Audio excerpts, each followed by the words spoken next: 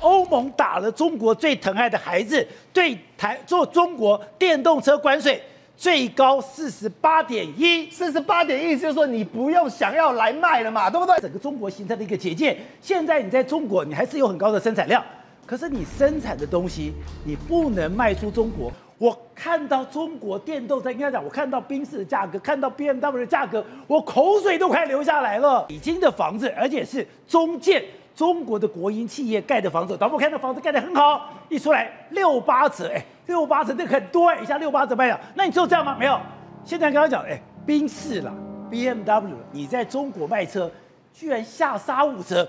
我看到中国电动车，应该讲，我看到宾士的价格，看到 B M W 的价格，我口水都快流下来了。对，老那什么车折价都没有问题，但双 B 通常大家知道价格最硬，包括那时候市场根本就不会跌下，所以它有保值性就没有。连双 B 在中国都撑不住了，你知道为什么吗？因为他们跟一个字扯上关系，又是电，他们是电动车大崩盘。各位，你现在看到，比如说我们先讲第一款车款，这个宾士这 C 两百，我们台湾哦动辄新车两百五十六万起跳，拍 sale，你知道中国卖多少钱吗？多少钱？官方售价一百四十九万，很便宜的，对不对？口水要滴下来没有？真正卖出去只卖九十万块，九十万块就一台。这一台的宾士 C 两百。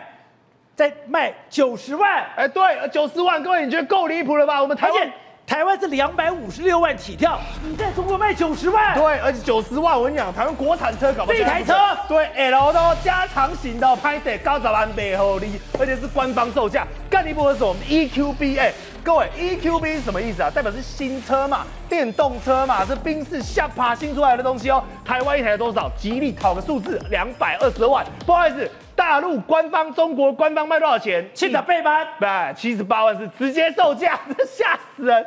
七十八万，你去买头要他买你上都买不到。他一台宾士电动车卖你七十八万，所以两百倍、八五倍、七八倍，直接杀到七十八万。七十八万上好利，而且不止哦。来，我们讲更高级的车款。EQE 哦，我们讲它什么意思？是宾士。如果我们不谈 EQS 这种顶级车款来讲，已经熊紧绷啊。台湾一台也要卖三百万哦，三百万来讲已经算是高阶、中高阶车款了。不好意思，中国卖多少钱？台币一百一十九点五万块，全部送给你。哎，你花一百二十二万就可以就可以拿到什么？拿到它最高贵的电动车。哎，所以你看到宾士在大陆市场已经撑不住了嘛，根本跳楼大拍卖。就说，哎宇炫，那搞不好是宾士个人的问题呀？没有，B N W 一样，B N W 是 i 三哦。我们讲这个 e drive 也是我们讲三十五 L 嘞，这也是全新的车款啊，也是非常高阶的车款啊。我再跟你讲个消息哦。台湾你知道买卖多少钱吗？多少钱？根本没上市，没上市，代表它是非常新的东西，台湾根本没有进口的。就你知道，原本官方售价一百五十七万，代表它也是顶规的。不好意思哦，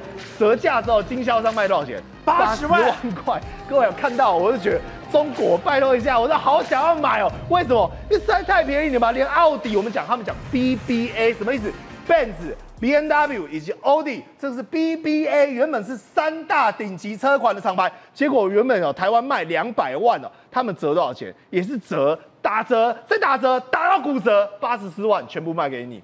跟大家讲的，为什么会出现这个状况？因为我们之前讲的，现在在中美打压的时候，我刚刚讲，现在美国已经计高关税了，百分之百的关税，现在欧盟也可以计百分之四十八的关税，现在连土耳其、连巴西都可以计关税，代表什么？代表你在中国生产，中国是全世界的世界工厂。中国以前是在这个世界工厂，我可以行销到全世界。可是我现在，哎，在以美国为主，欧盟也进来了，其他国家也进来了以后，我在整个中国形成了一个结界。现在你在中国，你还是有很高的生产量。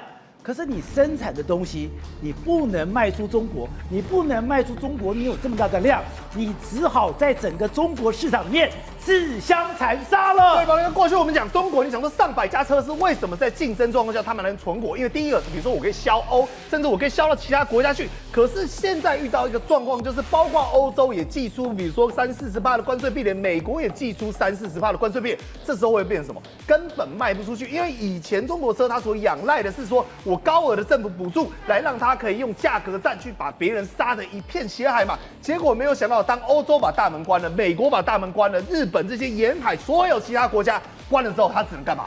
内卷，自伤残杀，自己杀死。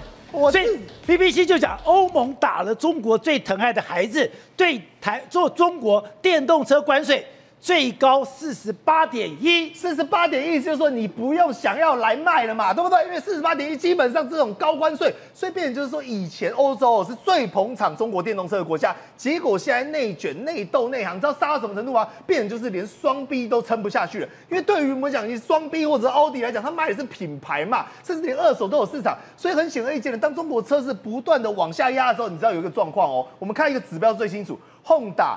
Toyota，然后我们讲的这个，你上这代表什么？最低阶平价车款，对不对？不好意思跟你讲，这些低阶平价车款，比如说我们讲 Corolla 就好了，Corolla 也撑不住了。为什么？因为原本他们售价已经够便宜了，一台车五六十万，结果他们又在打折。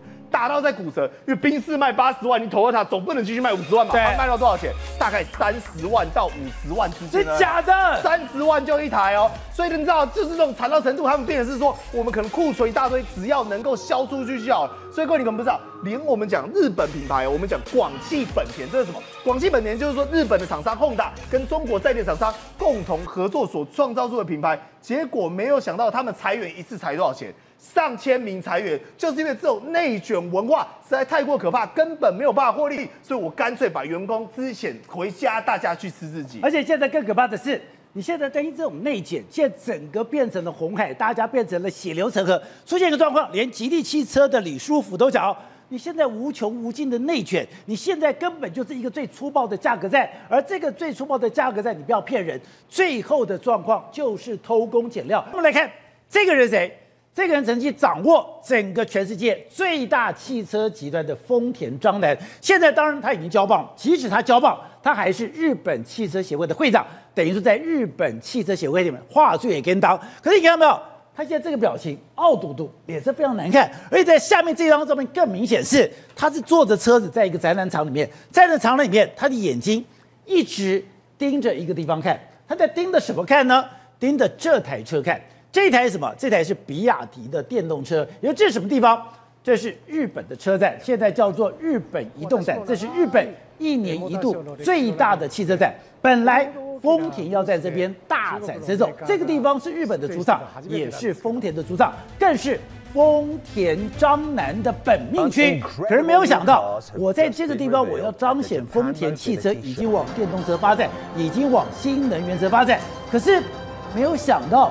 目光全部被比亚迪吸引，所有的报道全部都着重在比亚迪。之后有人形容 这一个动作，这样的一个现象是日本第二次的。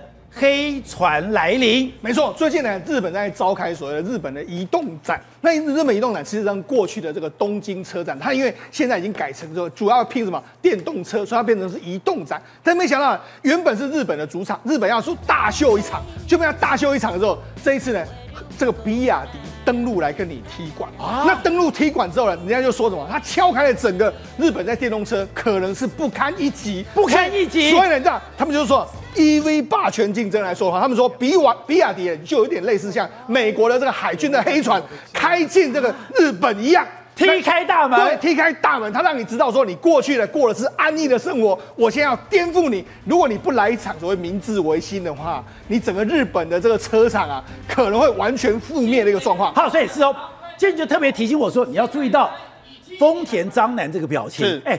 他等于说是一个霸主，当然，他过去在汽车业里面，他是等于是画柱也跟当，他等于说，可是这个霸主在你的主场，在你的本命区，在你的在车载里面，你的脸。居然如此难看！对，没错，这是丰田章男过去的这个丰田家的丰田汽车的掌门人。他虽然现在呢交棒给他的这个这个所谓他的接班人，但他其实呢还是幕后的一个非常重要的大股东，跟一个影响日本汽车业非常重要的人物。他这次也来参观了日本的这个移动展。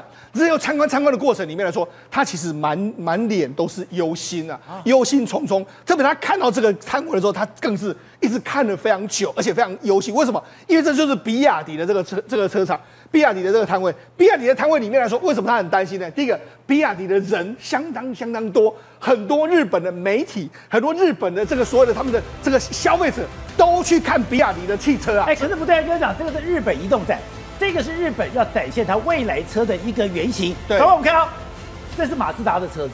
那我们看到的这个是三菱的车子，对哎所有的车子都是精锐进出。是我把这么未来的现代车，全部未来的这个所谓的概念车，全部放到了东呃这个日本移动展。对，为什么焦点却在比亚迪呢？没错，好，我们就讲，事实上这次日本的移动展里面来说，各家精锐进出啦，Honda 啦，或者说像这个 Toyota 啦，然后这个 Mitsubishi 啦、Mazda 啦，或者说各式各样的车，这个 Isuzu 的车全部都出来。他们就说，我们未来日本的这个方向要往这样来。哦，你看，要奢华有奢华，要好的这个概念车有概念车。可是问题是什么？大家现在在看的是电动车啊，你不要给我看太多现在可能燃油车的这个方向，这都不太对。你有没有告诉我未来是什么？而且你的价格都很高啊，我们都买不起的一个状况，所以变成是这样，大家都为什么要去看这个头这个比亚迪为什么要看比亚迪？因为比亚迪是我们买得起的车子啊。而且，导播我们看，为什么就看那辆车？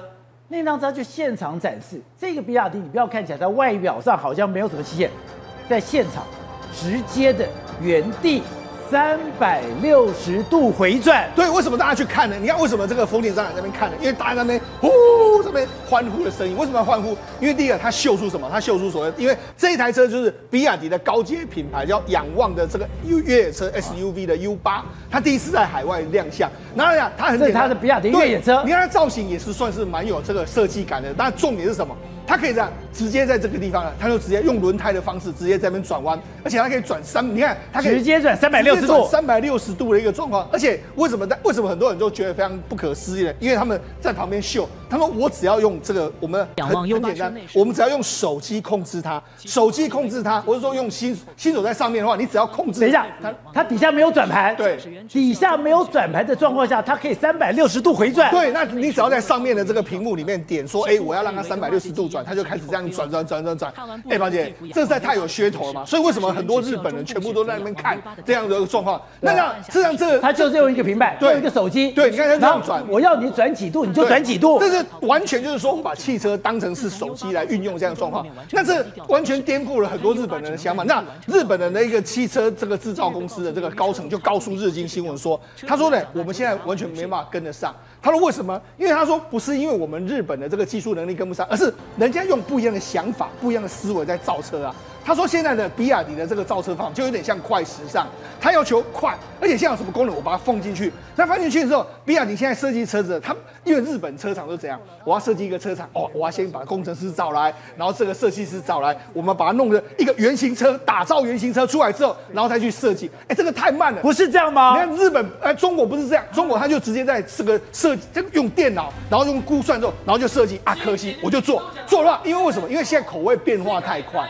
我就用这样不断的这个变化的这个状况来说，我可以打打进这个消费者的这个心态，所以人家就说，哎，这个这个我们未来日本的车厂恐怕我们技术不是比比那差哦，对。而是我们在快快这个方面来说的话，我们是完全打不过中国的。所以，哎，你就像一个时尚的品牌，等到你这个这个有概念、有概念设计好之后打样，对。都已经半年、一年了，人家一个月就做出来了。新班啊，就像为什么大家不看这个车子，这个车不知道多久才会出来，但是比亚迪的车子，哎，搞不好我们今年就买得到。他直接在你面前打转，所以就说就完全不一样的概念。好，那你知道，事实上这一次的，你照理说，而且刚刚讲那不是我们讲的哦，是那是日经亚洲讲的。他说中国的比亚迪根本已经打开了日本的，而且它还比特斯拉更有竞争力。对，没错。好，那我们就讲嘛，事实上这一次的比亚迪去，你要讲哦哇，这个比亚迪车子在那边大这个所谓大放异彩的时候，那王传福应该也是。可是宝姐有一个很有意思的，就是王传福本人他在日本没有人认识他。你知道原本一开始要办这个所谓记者招待会，把你找来的时候，王传福人就在那边。但是没有人认得他，后来呢？后来是因为比亚迪的人上来就鼓掌，哎、欢迎王传福先生，他才来。所以呢，他很低调，没有人认识。而且，但是呢，他没有关系，因为为什么？因为他站在这个比亚迪的摊位旁边看这个日本人这么疯狂，他是笑了，笑了非常大声，他觉得哇，这一次我来了，果然是对，而且是踢馆成功的一个状况。好，那另外就是我最近看到孟哥在讲王传福的时候，我有一点惊讶，是因为王传福以前是郭台铭最大的敌人，当然，那现在他是特斯拉伊隆马斯克最大的敌人对，。没错，我们就讲嘛。实际上，目前为止来说，伊隆马斯克，你要说他全世界最怕的一个人是谁？可能就是王传福。哦为什么？因为王传福做到比这个伊隆马斯克几乎是很难做到的事情。因为为什么？因为我们知道最近呢，瑞银呢针对这个他王传福下面有一个海豹车款。跟特斯拉的这个 Model 三，他们来把它拆解。你知道最近一段时间呢，不是很多中国车厂被特斯拉降价杀的死去活来吗？未未来汽车都已经出现了这个财务可能会吃紧的状况。但是呢，他说，哎、你这样杀啊，搞不好你最后呢会把特斯拉自己杀死。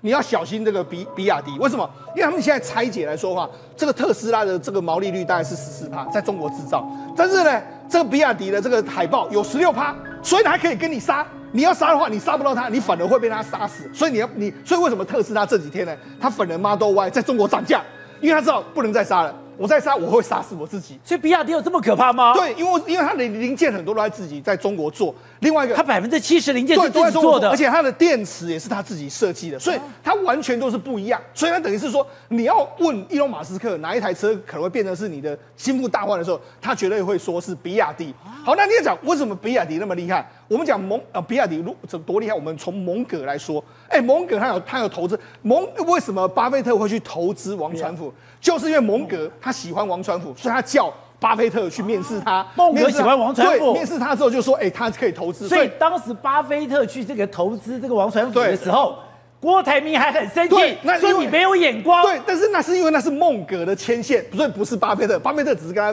interview 说，因为孟格一直坚持要买，那巴菲特只好说好啦，那就买了吧。好，他说什么？他说王传福是个天才，然后他拥有工程学的这个博士，而且他早上看到某几个东美国零件，下午就可以做出来。他说他从来没有看过这样的人，他是一个天生的工程师。他我把他真的捧上天。他说他是爱迪生。跟 Jack Walsh 的这个两个的结合体，哎，我们知道爱迪生是个发明家，Jack Walsh 是 Welch Walsh 是把这个所谓通用，把那个奇异电器做好了，把财务做好了，所以他等于是又会做工具，他就是把那个六个标准差用到极致的对，就你又会这个发明，那你又会这个所谓管理管理，哇，真的太厉害，所以一定要投资他。但是你看，宝杰，我跟大家讲一下，王传福到底有没有这么厉害？我们讲几个故事给大家听就好。我觉得他真的是一个非常厉害的工程师。为什么郭台铭董事长会很很恨他？因为第一个，当初当初王传武一开始做这个所谓这个最早做这个电池的时候，他是去日本公司的，因为以前中国没有这个电池的这个技术，他是去日本公司看人家生产线，回来之后他就自己已经会这个生产线的组装，大概被他摸出来一个大概。看生产线就会了。那另外，为什么为什么郭台铭会讨厌他？他原本要接他电池的订单，把他请来说啊，那你来我们生产线看一看，想说哎，未来你大概有机会变成是我的大客户嘛。就王传福也是去他们生产线看一看，看一看之后，回去几乎是就可以 copy 出它几乎原本的生产线的大部分了。copy 富士康的生产线，所以为什么王成为什么富为什么他回去就开始在跟他抢单嘛？就是因为他就知道哦，原来你是这样搞，那我也这样搞，那我再挖你的人过来，我就可以完全复制跟你一样去。挖红海的人？所以就知道他其实我们必须说他真的有他厉害的这个地方，这也是为什么孟格会这么喜欢他的一个原因。所以我才说回来讲嘛，现在他这个带领这个比亚迪呢攻到中攻到日本去，当然以后一定会变成日本的这个心腹大患。只是日本人要怎么样举国来迎击这个重要的这个敌人。所以，是我们刚刚讲的，你是长期研究财经的，在研究财经里面，电动车是未来最重要的一个项目。当然这个未来最重要的项目你们，刚刚讲的，你要研究电动车，你要去了解特斯拉跟比亚迪对两雄相争，到底谁会独得赢得天下？没错，实际上目前为止来说，当然两个这个是最厉害的，但是周边国家都遭殃。我看日本厂商几乎现在在，他们为什么那么紧张？因为他们在这一次为什么用黑船？因为再不改革，你真的就完蛋了。好，第二个是什么？欧洲厂。你看，这是日经中文呢，欧洲的这个车车企 EV 的 EV 的这个转型遇到这个困局，然后他们呢找中国厂商求解。为什么？因为目前为止来说，他们越卖越多，越赔越多。譬如说以 Volkswagen 就说，他们卖目目前为止来说的话，你看他们 EV 的这个销售量是同比增加百分之四十五，那很厉害啊但是销售额的利润是从八点四降到六点九，也就是说卖越多电动车赔越多哎钱。，我多卖了百分之四十五，对可是我的利润却降了一点多趴，对，因为为什么？因为一点五趴因为电动车的这个这个目前为止来说，对他们来讲是一个非常烧钱的这个项目，甚至连这个也是一样。宾士的这个 CEO 他也说，哎、我们 EV 也成长了八十二趴，但是利润率只有十三点六，也下降了一点三，因为这些外部零组件都太贵，因为跟过去这个所谓电动车跟燃油车的 EV 的所谓所谓的零组件是完全不一样，特别是电池这一块。所以这样，Volkswagen 现在决定什么啊？好啦，那我就跟你中国合作，他现在跟小鹏汽车互相合作，同时他也买了这个这个中中国的很多这这个电池公司的这个电池，所以呢，实际上目前为止来说，整个全世界这个整个这个电动车的困局在哪里？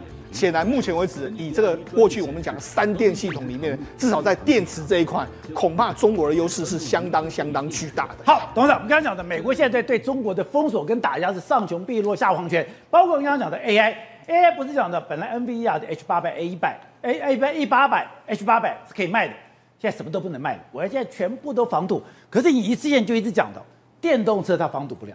电动车现在中国已经取得优势了，中国现在已经变成领头羊了。再加上现在美国的这个车厂又在罢工，这个差距会越来越大。我当时想，怎么可能？这一次真的让我叹为观止。这是在东京移动站，这是东京过去的车展。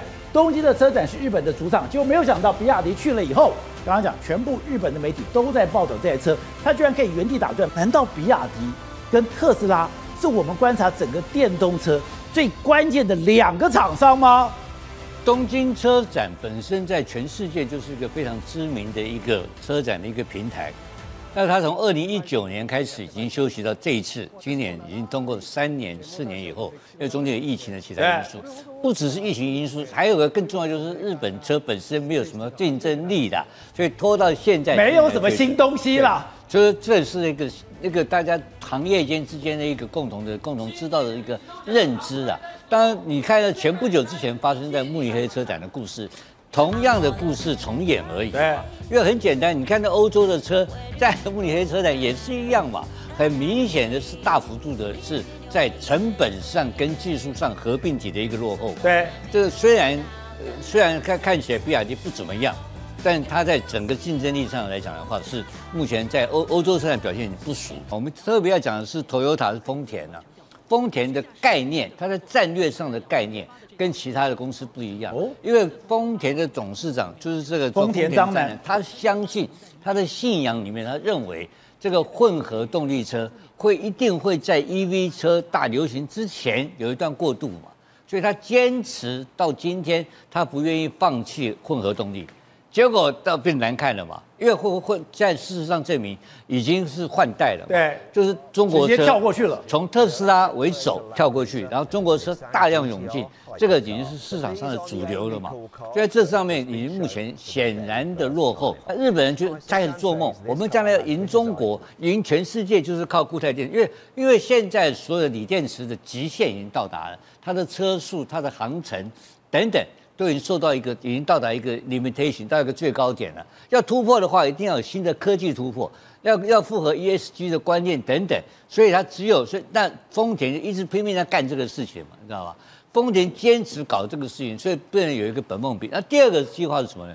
啊，第二，那它是大量的投资什么？投资其他日本的车厂，包括从哪里开始？从从苏巴路开始，从这个马自达。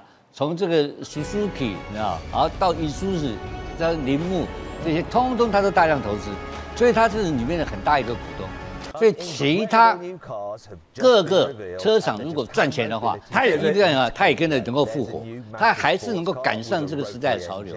但是不管怎么讲，丰田跟日本的这个整个国民的气氛是相同的，大家已经老旧了，体力不堪了，就等待一个新的奇迹出现。那真正的奇迹，在科技上来讲的话，就是固态电池。所以这这个虽然可能是一个白日梦，但是大家日本人就一直有这个唯一的憧憬，支持支撑他们继续在这个车这个汽车产业发展。好，辉生，当然讲的，如果你在讲电动车的时候，电池是一个非常关键。我们刚才讲的，《华尔街日报》就特别提到，他说，不但是这比亚迪现在已经等于说在这个销售上已经赢了特斯拉，甚至你在成本降降降价上也赢了特斯拉。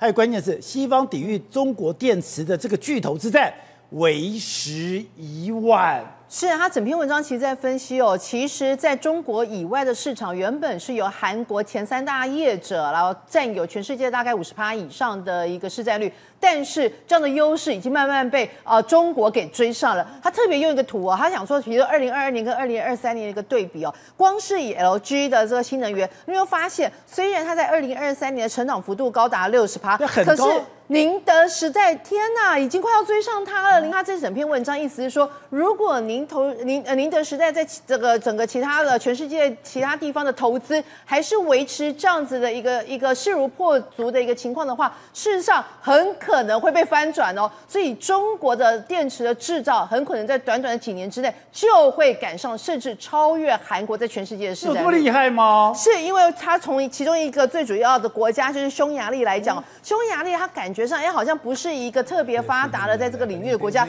他说没有，是非常吓人哦。匈牙利里面有个小镇叫呃德布勒斯哦，这个城市呢就我们，现在看到这个地方，对它就是匈牙利。对匈牙利，然后它在过去的八年里面哦，就是那个 FDI，也就是外国人在这部分的投资吸引了一百三十四亿美元。可是你知道吗？光是宁德时代在匈牙利这一家公司就投资了七十七亿美元，可以说是匈牙利里面单一哦外资投资最多的一家公司，就是中国宁德时代。然后呢，他就说他投资下去之后，很可怕一件事情是，它将有可能会成为整个欧盟里面哦生产量最大的一个。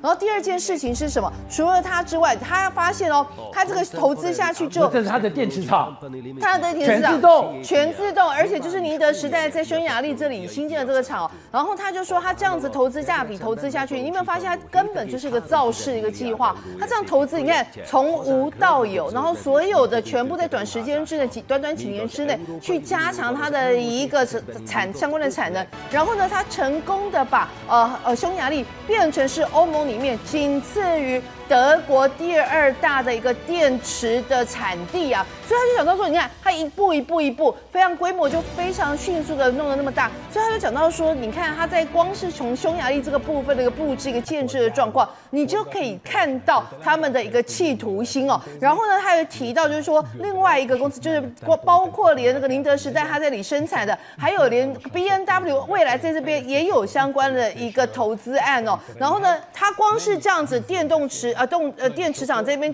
进行投资之后，它整个城市都因为这样而富起来，富起来之后就带动了房地产价格飙涨，还带动了一些像是啊希尔顿的酒店也在这里竟然要开业，它也不过就是一个二十人的城市而已，所以你就知道，光是宁德时代据点在这里，可以让这个地方整个经济瞬间蓬勃发展。那我跟大家讲，最惨的是什么？它现在中国陷入泥淖啊！为什么？我们讲中国现在车厂不是大幅的这个杀价吗？对你知道比亚迪做了一件事，比亚迪它有一个电比油低的这个价格。为什么？因为我们讲一般的，如果同款车来说的话，油电的车，哎，油的哎电价的车应该比这个油车要这个贵，对不对？它现在就直接把它降价。同样一款，同样一款秦 Plus，它有这个所谓的燃油版，它有所谓电动版，它把电动版的价格降的比燃油版更低。那这样，它就是给你杀价，一台车呢，新台币大概三十三十点五万。那那这样一台车电动版三十点五万，对你觉得竞争力强不强？你特斯拉还那么贵，对，结果特斯拉怎么办？它只好降价。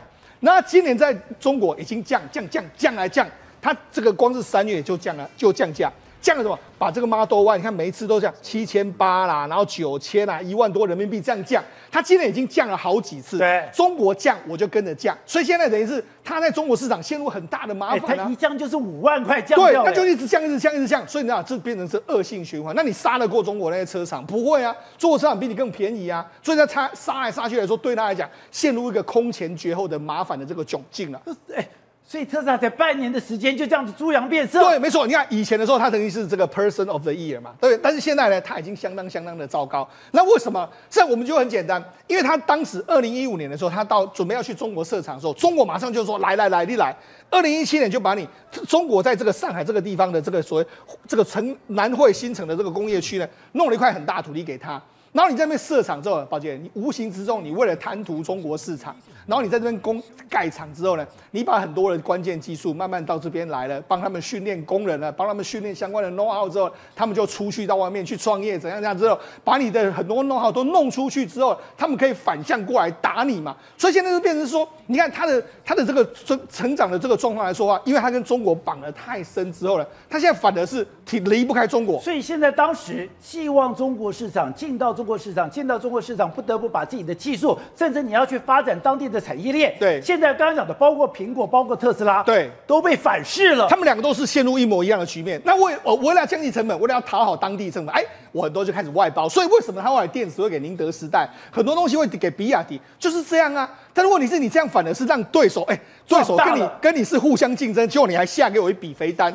所以他无形中养大了这些对手之后，现在反过来打你，跟苹果一模一样。但但是苹果现在已经懂得这个啊，好了，我现在要往这个 AI 发展。他现在说我要跟这个 Google 合作，虽然搞不好可以往 AI 去，但是问题是，伊隆马斯克并没有吗没有这样，目前为止没办法踏出这一步。所以来跟你说嘛因，为你三个主要的东西，第一个刚刚讲的，你的电池、你的这个所谓的电机，对包括你的中控的电脑，对。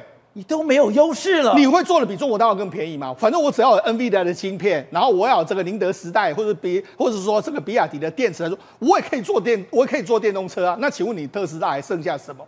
董事长，我很喜欢布袋戏一句话，就是哎，岁数如给乾坤某切哎，但是没有想到特斯拉这个变化也太大了吧？特斯拉做了一个哈非常重对中国做了一个非常重要的事情，就是到了中国到中国大陆设去上海设它厂，上之后，就创造一个什么东西叫特斯拉供应链。特斯拉供应链创造出来之后呢，除了你刚刚讲的软体这个部分以外，其他的各个硬体部分，对变成每一个中国的 EV 的电动车的生产制造的标准。它创造一个工业标准，就大家大量的开始，中国的开始降低成本，国家补贴，你看那比亚迪变世界第一等，都有很多的特特斯拉的复杂的这种痕迹跟影子，对不对？看起来是一个非常大的。那现在到底是发生什么事情呢？就变成说还没有还没有成大就已经变老了，还没长大就老了你。问题是出在什么地方？当然就是出在电池上面，因为电池是根本问题。对刚刚我跟师兄讨论过这个问题，因为电池现在宁德时代全球第一，对不对？那，市占率好像超过百分之五十啊。对然后全，然后第二名的就是比比亚迪然后还有一家，还有韩国一家嘛，好像有 LG 这种公司。可是特斯拉的这个电池也是呃好像也跟宁德时代也也是买的嘛，宁德时代买对的。但宁德时代这个电池到目前来讲，能不能够完全符合市场的需求，其实还不行嘛，因为它的整个总的，我它的意外发生意外的比率还是高烧火爆炸还是仍然存在的。另外一个，它的这个车程的这种最长的这个航航航的公里数来讲的话，大概还在四五百公里而已嘛。那四五百公里的情况之下，造成台湾感觉不出来是怎么样？包台湾，你想想看，一个在中国大陆或是美国，它一个一个车程，它要开始要开车出去的话，可是两三天呢、对要跨州旅行的话，你这个四五百公里是没有办法应付的哦。那怎么办？而且你不见得有办法能够找到地方充电哦对。所以在这种情况之下，你这个特斯拉或是电动车，在这个整个的驾驶在全面普及化情况之下，有太多先天的困难，造成它很多困难，所以会变成另外一种东西兴起，变成电动车跟这个所谓的油这个这个叫什么？这个油电混合呃，油电混合。那这一方面来讲的话，有些关键材料的科技技术，中国大陆是被封锁的对象，所以这个才是下一轮的战争才会真正触动的电动车的这个全世界的这个竞赛。我们晓得中国国家主席习近平五年来首次出访欧洲，到了法国，到了塞尔维亚，第三站去哪？匈牙利。哎你知道他去匈牙利代表什么意义吗？哎，人家匈牙利可是中国在推“一带一路”欧洲首个跟他签约的国家哦哦。所以呢，你看最后一站 Hold you on day，习近平来到这儿，一来就大傻逼。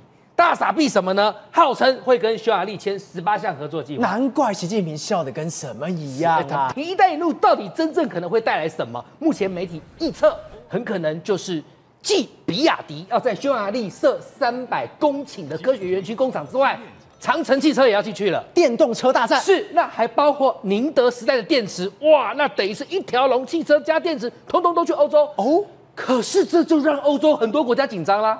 你要晓得啊，美国对于中国电动车倾销开第一枪，说关税要百分之百。那欧洲呢？欧洲说我密切观察，观察什么？观察你中国有没有对这些电动车做所谓的过度的补贴，对造成不公平的竞争。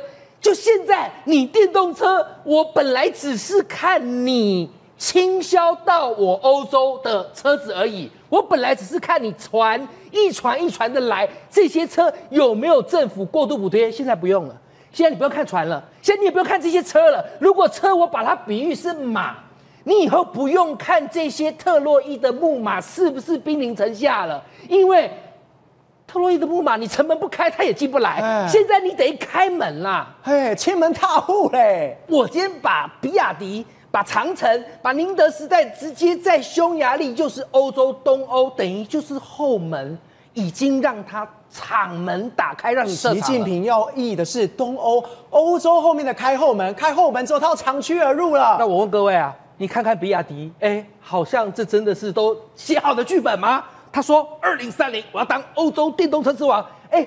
电动车之王，你是不把特斯拉、不把福斯、不把法国的标志看在眼里吗？啊，当然啦、现在有一带一路，而且直接直杀匈牙利设厂，全部通杀紧张了。你看拜登这一招最有效，最狠了，我直接嘛，哎、啊，你中国电动车要倾销是不是？来，你卖两万块美金来我中美国嘛，好啊，我过去磕二十五趴关税，那就两万五嘛，哎哎，我现在磕百分之百，百分之百了，两万就变四万了啊。Turbo 直接吹满啊，了。特斯拉一定随便都卖过它嘛。对好拜登这招就就有效。还有打我们的品质嘛，你看中国的电动车现在啊，小米一直都有一些状况传出，对结果还发现你状况不止这个，你甚至是卖一台赔一台，扣掉刚刚我所说的中国政府的过度补贴，他竟然卖一台还要赔三万块台币呀、这样的车，难怪你现在欧洲人会担心你是不是来倾销的哈。这个真的尴尬了。从这礼拜开始，哎我们刚才讲到的慕尼黑车展风风光光的展开，展开了以后，哎，德国车，你刚刚讲到，德国车本来要利用这个机会向全世界展现我们不一样了，对我们已经往前走了，我们已从过去的燃油车进步到了电动车的时代。刚刚讲的双 B BMW 跟 Benz 两个车都提出了最新的车款，也一开始哦震动了全世界，全世界大幅的报道，可没想到经过一个礼拜后才发现。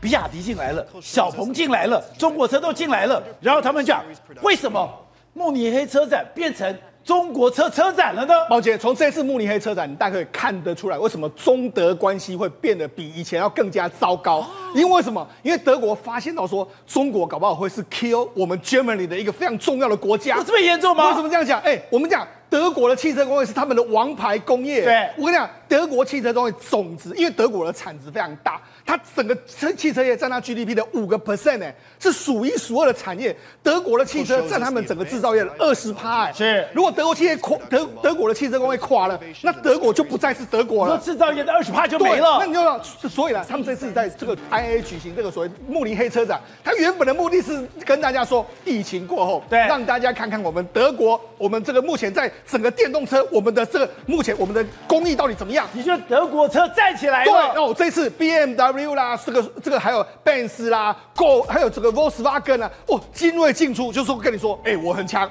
就没想到，哎、一开始我们的确都 focus 在报道德国对车很厉害嘛，对不对？就没想到，哎、这几天呢，德国媒体完全不一样。你看，这德国媒体为什么慕尼黑车展正在变成是中国展？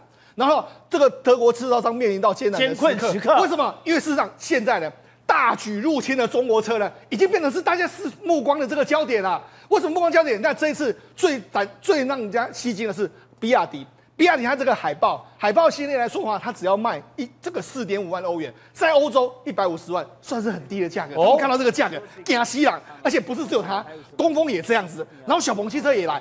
大家都来，所以现在变成是大家都在看中国汽车，因为中国汽车很便宜，所以原本的主场的这个德国车展变成是中国车展，所以原所以中国人赫哎，所以德国人赫然发现说，糟糕，我们的主场都要被宰杀的一个状况啊而！且我们刚才讲的，一开始的时候，刚才讲 Benz 推出它的一个概念车，对但是哎，那个红色的车子，红色的车子有一个最先进的一个流线型，对。而且里面的所有的车装，里面所有的概念都是符合未来电动车的应用需求，就这台车，对。哇，真的非常的漂亮，未来的概念，而且里面完全都是电动车的概念，而且它怎么，它还跟 NVIDIA 合作，对。就没有想到过了两天，对。才发现不对了，宝杰那这台车真的很漂亮，问题是它一台车啊，要卖到这个八九万欧元啊。你看，如果 Dolphin 那台车它只要四万块，如果是你，你要买只有一半。对，所以那为什么他们会开始紧张？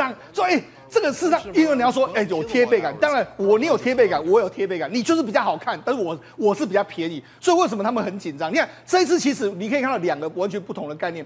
德国人是展现我们德国工艺的精髓，这是没有问题的。你看，包括说刚才在 Mercedes-Benz 的这个未来几年可能会推出的这个车款，它还推出过这个纯电的这个超跑车啊，Vision One Dash Eleven 这个，你可以看到，哎、很漂亮啊，整个车子非常流线型的这个造型啊，然后它的这个马达来说是特殊设计的这个马达，会更加快，对体积更加小，然后它可以提供你赛车规模的这个等级啊。所以你看赛车规模等级，看起来很漂亮啊！你看这整个它就把你展示出来啊马达我的很漂很漂亮的车子啊。另外 B N W 它也新推出，它把这个过去的电动车的这个这个完全推掉。他说未来我们有一个新的等级叫 New Class，真正德文的 New Class 的意思就是我们全部的电动车都是用这样的等级，新那你看等级了对，新等级。然后你看它整个设计感，整个非常漂亮，流线型又很很好了。问题是你这个有什么样的这个状况呢？好，另外这是宾士，宾士我们刚才讲看到他找费德勒来站台，对，Roger Federer 就来了，他还存还推荐他，就是说，你看，因为它的这个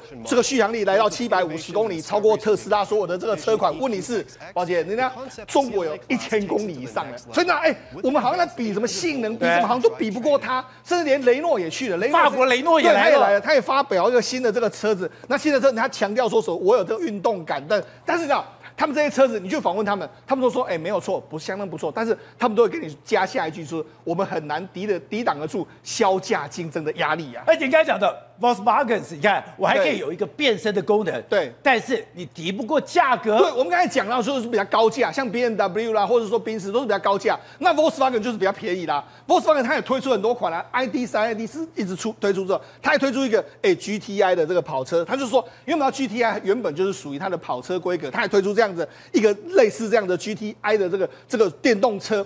好，那除了这个电动车，它还有一个是原版的这个电这个车子，这个车子可以可以这样，可以有不同的这个变身的这个方式，但是没想到，哎、你这种纯电的这个超跑，但是你还是很贵很贵的价格，让你目前看起来的话就没有价格竞争的这个优势。好，那为什么大家开始担心？为什么德国的这些媒媒体，甚至德国的这些经济报纸，突然发现变成中国车展？对因为瑞银做了一件事情，瑞银竟然把比亚迪的一个车款海报，对把它给拆解开来。拆解开来以后，我来分析你所有的零件，分析供分析所有的供应链，对。发现它比 Model 3的成本还要来得低。没错，实际上这个特斯拉的 Model 3在上海工厂已经是全世界数一以以特斯拉来讲是最低的。可是你看，如果我们仔细来看，这是瑞银做了一个报，他把这个比亚迪的这个海洋系列的这个海报把它拆了，然后跟这个 Model 这个 Model 3来对比，就没让他们发现到说海报比 Model 3的在上海超级工厂的成本还要低百分之十五。还低十五。对，好，那是哎，我们听你曾经讲过，对特斯拉能够独霸天下，就是因为它可以控制成本。对我的成本比人家低，所以我有比别人更大的杀价空间。结果这个比亚迪还便宜百分之十五可是。问题是，那他说德国车呢，如果用这样规格在欧洲生产的话，要这个比它高百分之三十五。所以呢，然后他就说了，因为目前为止很多零件都是在这个比亚迪自行生产，所以呢，比亚迪似乎是还可以再把成本再往下降。所以这是他所以比亚迪比 Model 三降百分之十五，对我比这个所谓的 Volkswagen 的对这些车子，对成本还降百分之三十五。对，然后他还去拆里面的电池。电池来说，我们的特斯拉是圆筒型的这个电池，磷酸锂铁电池放在这个底座下面。然后他发现他说，哎，这个比亚迪是这样子的一个状况，是刀片电池。刀片那它的成本呢，又比人家还要低百分之二十，因为他自己做，所以它便宜百分之二十。那我们讲，哎，它这个原原物料都我自己，然后我组装成本又比你低，他们在比较一个这个这个表，大家仔细来看，你看这最最便宜的就是比亚迪的车子，这是 Model 三，然后这是 Model Y，那你可以看到里面包括说这个 Volkswagen 的车子、标志的车子、Volkswagen 的车子，所有的都比他们贵那么多，至少都贵十四趴到十五趴以上起跳，甚至这个福特的还贵百分之八十，B N W 贵百分之六十一，所以看起来的话，真的就不太可能会赢啊。所以他们就知道说完全不可能。他说，如果我们跟这个价格一样的这个状况之下，就是我们把这因为海报现在要杀价，对。如果大众把它降低一样杀价。杀价一样，两个价格一样的话，就没想到价格一样的话，大众每卖一辆车会亏一万美金。那所以呢，所以你说意思是什么？意思是海报可以再多给你杀一万美金，杀到这样我会赚钱，你会亏钱。所以对他们来讲，真的完，为什么德国德国人会说完蛋了？就是因为真的，如果你用价格的优势啊，因为我这个电动车要普及很简单，它只要滑落到一个甜蜜点，那个甜蜜点约莫是在一百二十万到一百五十万的区间之后，它会大量爆发。问题大量爆发的时候，一定是那种能够趋近到这个价格的会优先。那谁会先达到这个价格？当然，显然看起来是中国车厂啊。所以刚才讲的，现在日本，现在包括德国，都高度的关注比亚迪。对，为什么？因为我们讲，实际上全世界这个 GDP 占占最多，以汽车产业占最多是日本。日本大概约莫占整个 GDP 的十趴，然后制造业大概二三三十几趴，也都是汽车产业。德国也是，所以为什么德国跟日本，你会觉得哎这几年好像跟中国的态度完全不一样？其实在某些程度来说，还有产业竞争，我被你竞争过的时候，我就完蛋。因为本来德国车最大的市场，对，它是在中国，对，本来大众汽车就是 Volkswagen，对，你根本排不上名的，是因为你进到了中国之后，对，你居然变成了全世界最大的汽车集团。但问题是，你进到中国以后，你居然养大了中国，是中国居然变成德国车的最大敌人了。而且，宝剑，那为什么德国那么紧张吗？我跟你讲一个非常有意思的数据，你知道，目前为止，因为德国过去在整个中国汽车产产业里面，大概是在二十趴左右都是德国车，可是呢，在电动车市场，目前为止。德国市占率不到一，所以他们现在担心什么？担心未来这个整个如果整个市场完全都被中国吃掉之后，你在中国市场就没有了。再说他们到二十趴跟一，对，然后他们在美国市场又打不开，然后欧洲市场现在中国车要来欧洲市场，所以为什么他们会觉得是整个国家会被负面的感觉？这跟日本的感觉是一模一样，所以他们现在你看这个市场，你这就从这边对可以看出来了，对，为什么德国跟日本跟中国的关系越来越紧张？为什么？因为这个产业竞争就是这样一个情形嘛。好，那我们就讲，这样这个拆比亚迪不是只有这个瑞银拆，日本之前也是把它拆过，日本早就拆过他们也是把它研究过，研究透彻之后就发现，他说糟糕。这个完蛋了，我们根本无法跟他竞争。所以你看，我们为什么说这个这个德国非常紧张？你看，这是德国他们报纸讲的，看德国汽车工业将面临到艰难的时刻。那很多全部都讲，看一辆中国生产的电动车跟德国生产的这个平均价差两万欧元。你看，这是他们的报道，是德国很大篇幅的报道，他们所有的制造。所以我就讲，一个占德国 GDP 五趴的这个这个产值，然后占他们出口二十趴的这个产值。如果有一天你可以想。中你的主场被中国蹂躏成这个样子的时候，那德国下一步该何去何从？难怪肖兹都出来讲话了。肖兹都讲，哎，以前讲说日本车碾压全球，后来是韩国车的天下，现在是中国电动车了。对，所以你就知道，事实上现在呢，这个德国已经把这个目光焦点摆在电动车市场，而且他们最大的竞争敌人就将是中国。不是，过去我们都认为说，哎。德国是工业的巨人，他在欧洲是老大。为什么我刚刚讲的《经济学人》居然讲德国变成了一个欧洲病夫？甚至在这一次慕尼黑里面，你看所有的媒体的报道，现在慕尼黑车展本来是德国车展，怎么变中国车展？现在德国人对自己的未来、对自己的经济状况，真的这么焦虑吗？是，你知道为什么吗？为什么刚刚不提到他是欧洲老大吗？结果他现在变成是竟然落后于西班牙，哎。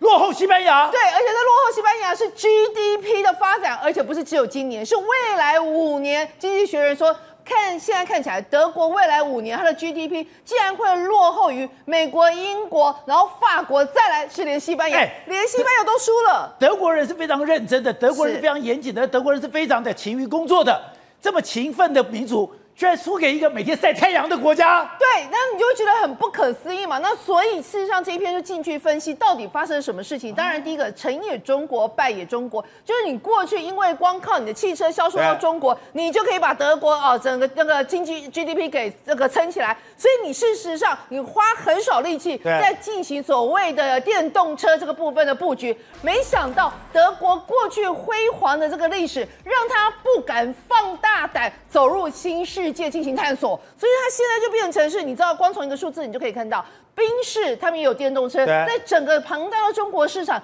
一整年竟然只卖一万四千多辆，这真的想说，天啊，这什么数字啊？哎，所以哦，他们就说这个其实看在德国人眼里，以前是我们把汽车卖到中国去，现在是比亚迪卖到了欧洲来，卖到你德国亲门踏户，就这四个字。所以这对德国人来讲，那个真的是哇，什么时候我们最大的一个消费市场，竟然变成了我们的竞争对手？哎呀，错！哎，以前梅克尔多喜欢中国啊。梅克尔到了中国，还去特别买那个豆瓣酱回家吃，还特别做了一个豆瓣酱面展示给大家。就是因为当时中国是德国最大的车的市场，而且大家刚刚讲的 Volkswagen 大众汽车，就是因为这样，它的市值碾压过这个丰田，就没有想到。现在主客易位了，主客易位，而且那个比亚迪真的吓坏他们了。他们就说，比亚迪现在在整个欧洲市场哦，光一年就行销了六款哦，而且行销这六款，短短的时间之内已经开始卖进了十五个国家。那你也知道，以前那个欧洲车，蛮多人是开德国车，就现在连我自己的地主优势都没有了，因为比亚迪的这种平价的电动车已经大门呃这个进门踏户进入到你主要的一个地主市场。所以呢，这个对德国来讲真的是一个很大的情绪。难怪瑞银要把这个海报给拆了，把这个海报给拆了以后，我要分析你所有的零件，分析你所有的成本，分析成本之后才发现，它居然比 Volkswagen 的便宜成本哦。低百分之三十五，对，而且呢，你知道德国人本来心想说，好了，你电动车市场的冠军可能是特斯拉，那美国吧，美国老大，我们输他，我们向来习惯。下面什么时候我们连中国的比亚迪都输了？所以呢，这对德德国来讲是一个很大的冲击。董事长，在共产主义或者在资本论里面讲，哎，那是有上层跟下层结构，下层结构就经济，经济才是决定很多东西的。刚刚师中提到，现在德国跟日本跟中国的关系非常的一个紧张。真的是因为中国电动车的崛起，本来中国是日本跟德国车最大的一个汽车市场，所以不得不跟中国低头，不得不跟中国交好。现在当中国车崛起来，真的对日本、对德国真的产生威胁了吗？而这个威胁真的让他们感到害怕吗？而这个害怕会产生对抗吗？呃，应该这样讲，就是中国的经济的下一个时代的经济崛起，很大一部分的力量。是来自于电动车，哎，它其他都被封锁了，它只剩下这一块了。因为以电动车为核心的发展的上中下游的周边的整个产业链结来讲的话，是一个完整的一个产业链结，包括你看到它有演算的问题，有软体的问题，有其他有有钢铁业的问题，各等等等等，对，包罗万象嘛。所以你的，所以这个在今天我们看到德国这个报道里面。他讲一个很简单，他说嘛，德国要自己找出来一个竞争方法，他现在不知道怎么办。对，可怕在这里，不知道怎么办。对，现在不是看了几十个，他这几十家公司，到二十年后可能都不会存在，对不对？可能是另外一批公司出现。但是你知道，他永远不会离开这个市场。你说我的工业体系永远存在了。对，因为他他有这个，他内部需求就已经是世界第一啊。那世界第二是谁呢？美国嘛？那美国会放过德国吗？不会，不会嘛？美国也跟你干啊，或者美国车也会兴起啊。对，所以这个问题是德国的汽车工业一定要失去过去的往日荣光，是一个必然的事情，走入历史是跑不掉的事情。但是好像问题是很尴尬啊，你到底还因为过去的内燃机是很很复杂的一个东西，它要有百年历史，它有很多专利，对，它有两百年以，它有几百年的东西，现在没有了。现在没有这一套了，就从头再来了。现在完全是一个新的东西，就是一个 iPhone 的概念跑出来了嘛，就是一个 iPhone，它就是个马达电池，就两个东西啊，就组成一个车辆啊，所以你的优势完全不存在。而经验值是决定这个优势与否的问题，对不对？那最具有经验值、最丰富的国家是哪个国家？是中国啊，它还是有经验值的，它有很多错误的经验是让它修正的。那你知道，在领先者来讲的话，包括连德国的人。或德国的德国的工程公司，或德国的专家，他们会自然会跑去帮，他会跑去帮中国人干，是这样吗？当然会，因为你你有你有 market，就好像全世界的一流的工程师、半导体工程师在台积电上班呐。我美国人没有，我没有地方上班呐。但美但美国对中国不是全面打压、全面封锁吗？所以说这个就概念就对了嘛。所以这是两个体系在斗争嘛。所以美国要用它的一千五百万辆的量。要创造一个美国的下一个世代的电动车市场，对，这一样的概念呢。所以，可是现在目前，你不要看第一名是特斯拉，未来特斯拉到底是属于中国公司还是美国公司，这个属性还还不一定呢。对，因为最后还是这样子，商人无祖国，就回到市场来来来来回到市场来看。但不管怎么讲。所以这个诶，这个这个《经济学人》这篇的的标题非常有意思。欧洲病夫，欧洲病夫跑出来。所以我刚刚讲了，在这整个的舞台上面，你可以看得出来，两大美中两大角逐嘛。两大角逐的情况之下，这个市场多大，你知道吗？我跟你讲，iPhone，我们 mobile phone 就手机市场一年大概有一兆美金左右。对。总市场规模，这个东西的规模，未来大概六兆、十兆、十兆美金。未来电动车怎么可能就你要算在未来二零三五年以后的规模嘛？你看到那个它，你看到我们一个 iPhone 用一块小面板，你看到你看到那个宾士车的面板多大？一片整片，它整个片就是个大面板。你要你要做多少个 iPhone 才能消化一个面板？它一部车子那么大一个面板，就把那个厂就包掉了。所以这些都是整个产业的新的结构跟新的概念开始。可是怎么讲？今天我觉得德国人的报道是对的。所以德国在这里面的角色越来越来日趋衰落。